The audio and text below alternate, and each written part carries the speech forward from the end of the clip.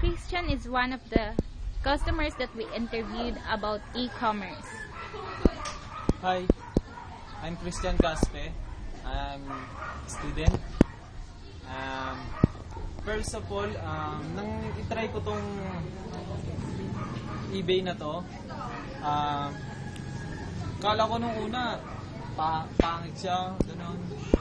Pero nung try ko kasi, kala ko rin mahal. Pero nung try ko, ito, damit ko.